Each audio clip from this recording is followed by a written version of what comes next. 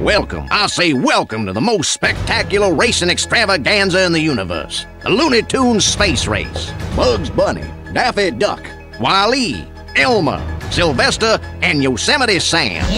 Bugs, Daffy, Sylvester, Elmer Fudd, and more Looney Tunes characters are coming your way in their own kart racing game. Hardly the most original game in the world, but it plays pretty well.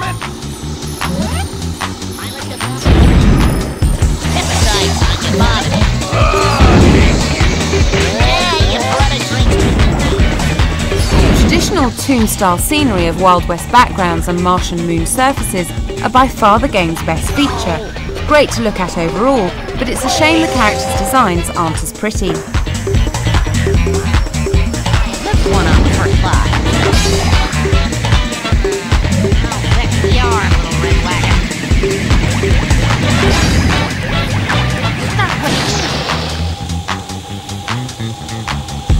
Each character gestures with disgust each time you foul up on the easy shots, and the whole racing field is convincingly verbalised through the talents of Warner Brothers.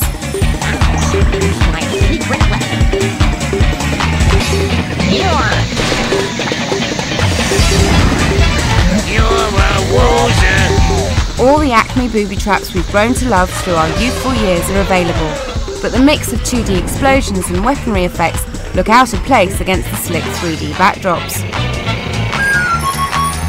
Step aside, son, you bother me. Aha, it is too. Pilot the bombardier.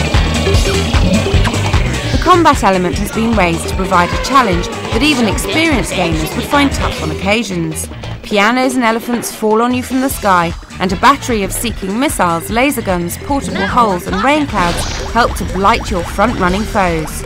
Sure, you can dodge the attacks, but it's still damn hard at the best of times. Yeah, you running drinks.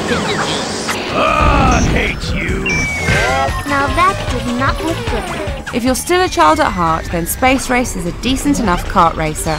Not one of the classics, but nice enough to entertain the younger generations. Not mess with this little black duck.